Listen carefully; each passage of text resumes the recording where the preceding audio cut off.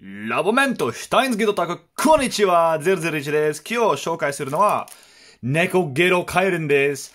What is up, lab members and Steins Gate fans? There's one here, and today we are looking at a Gero Kaerun from, um, I, I said Steins Gate. It is Chaos Head. Whoops. Um, yeah, this is one of the Chaos Head Gero Kaerun, well, keychains, key holders you could get back in the day. We have another one in this video well, not in this video, but in the collection, which is the original Gero Kaerun right over there. We have a review of that. And now we also have the Neko version. Now, this one was sold for 1,400 yen. Uh, back then, I suppose you won't find these for that price anymore, unfortunately, but it is what it is. Uh, here we have more information, and I'm very excited to open that up. So let's open it up uh, or see how we are supposed to open that because it is in the same packaging as this one still, which is the original, which I like a lot, uh, which means we can open them from the bottom. Yes, we can. Okay, so here we have this, which we need to power through, if I am able to. Sticker. Come on, sticker. Do your worst. Ah. Oh god.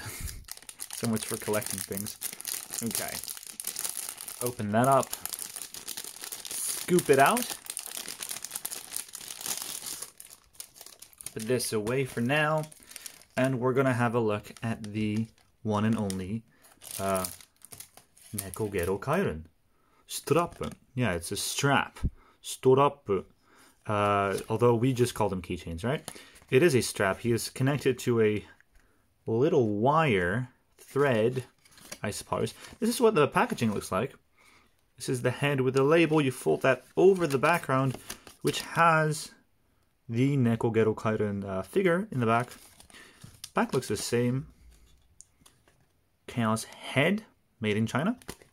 Now we have the fig itself. Now, these are scary because they're a foam-like material a foam rubberish thing, and they feel so, so fragile. Now, you can't squish him. He's squishable? That's for sure.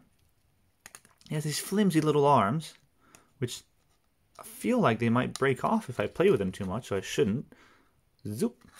Then we have his little head right there. You can see the cat eyes, the ears, the little bell, and then the whiskers for the figure, or the keychain, I suppose.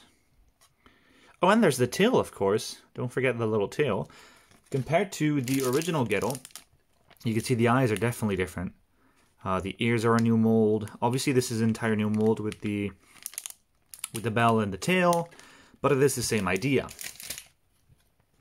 So there we have the one and only official, I guess it's a replica, uh, Neko Gero Kaerun. So there's that short video, nonetheless a very interesting video. We have a lot of stuff to show uh, this week, not this week, that I'm going to record in one go as I only have this day off and then tomorrow I have to go back to the base. Oh, well, look at that. We have a little drawn picture of Gero Kaerun. 2008-2009 5PB Nitro Plus Red Flagship.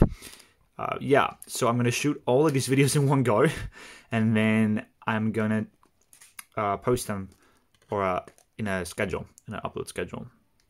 So yeah, thank you guys for watching this very short yet very interesting video. I'll see you in the next one. Uh, 皆さんごご視聴ありがとうございました。次の動画で会いましょう。エル、プサイ猫猫